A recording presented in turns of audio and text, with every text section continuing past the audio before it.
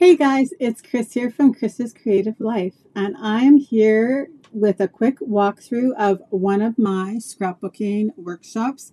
As you know, I design scrapbooking workshops that help you create beautiful projects from start to finish with easy to follow guides. And today I am happy to share with you my Unbounded Beauty scrapbooking workshop so Unbounded Beauty features the in colors from Stampin' Up! for the 2024-2025 um, years. And so I've created an eight-page scrapbooking workshop that features some of the products from that suite.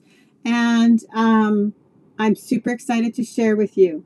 So there are a few ways that you can actually get my scrapbooking workshops. So you can purchase them from my shop, which you can find at www.chrisrobertson.com underneath um, the workshop guides or you can make a minimum purchase on my Stampin' Up website and then you get to pick a workshop guide of your choice and this might just be the one you pick.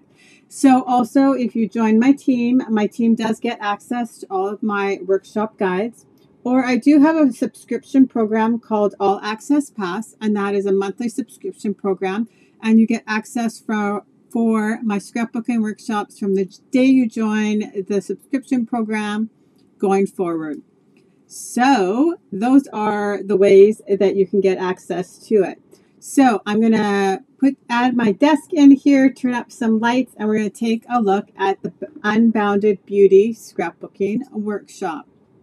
So like I said, this does create um, eight scrapbooking pages or four double page spreads, and it does feature the Unbounded Beauty Suite from Stampin' Up. If you're just interested in the products, make sure to stop by my shopping website at chrisrobertson.stampinup.net.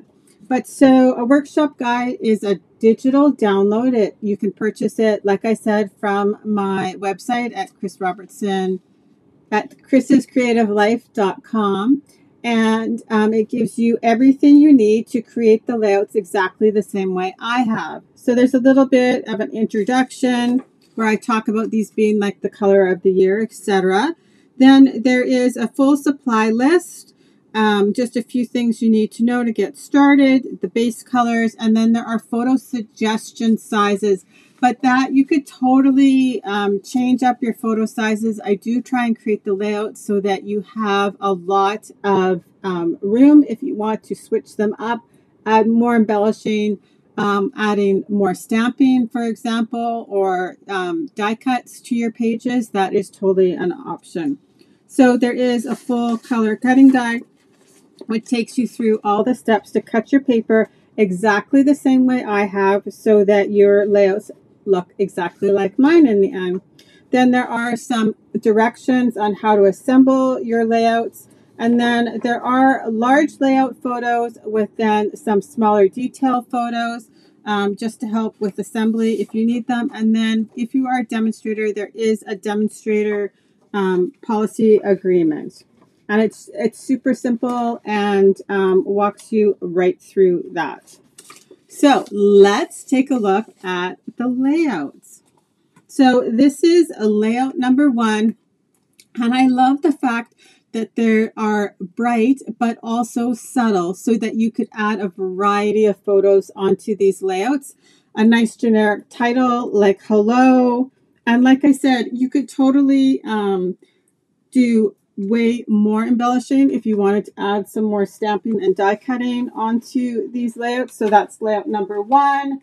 Layout number two is happy birthday. And I think that the um, nice thing also about this color palette is it's pretty generic.